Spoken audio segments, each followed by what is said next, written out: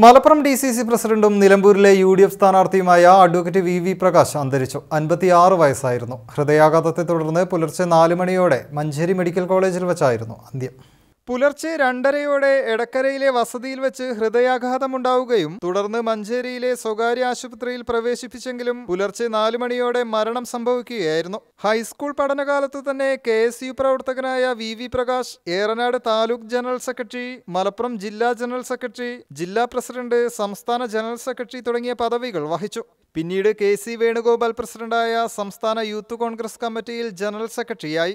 K മുരളീധരനും Ramesh ചെന്നിത്തലയും പ്രസിഡന്റായ K P C C കമ്മിറ്റികളിൽ സെക്രട്ടറിയായ വി വി പ്രകാശ് നാലു വർഷം മുൻപ് മലപ്പുറം ജില്ലാ കോൺഗ്രസ് പ്രസിഡന്റായി നിയമിതനായി. സംഘടനാ പദവികൾക്കിടെ കോഴിക്കോട് സർവകലാശാല സെനറ്റ് അംഗം K S R D C director F C I advisory board അംഗം ഫിലിം സെൻസർ ബോർഡ് അംഗം എടക്കര ഗ്രാമപഞ്ചായത്ത് അംഗം തുടങ്ങിയ സ്ഥാനങ്ങൾ വഹിച്ചു. രണ്ടായിരത്തി പതിനൊന്നിൽ തവനൂർ മണ്ഡലത്തിൽ നിന്നും യു ഡി എഫ് സ്ഥാനാർത്ഥിയായും മത്സരിച്ചിരുന്നു. News bureau Malappuram.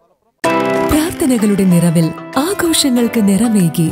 ലാരസ് designer jewellery അവതരിപ്പിക്കുന്നു. റമദാൻ ഓഫർ ഏപ്രിൽ ഇരുപത്തിമൂന്ന് മുതൽ മെയ് പതിനഞ്ച് വരെ. ഓരോ നാല് ഗ്രാം ഗോൾഡ് പർച്ചേസിനൊപ്പവും നിങ്ങൾക്ക് നേടാം ഗോൾഡ് കോയിനും ക്യാഷ് ഡിസ്കൗണ്ടും പതിനായിരം രൂപയുടെ ഡയമണ്ട് പർച്ചേസുകൾക്ക് ഗോൾഡ് കോയിൻ ഫ്രീ കൂടാതെ പഴയ സ്വർണാഭരണങ്ങൾ ഏറ്റവും പുതിയ ഡിസൈനർ ആഭരണങ്ങളാക്കി മാറ്റിയെടുക്കുവാനുള്ള സുവർണാവസരവും.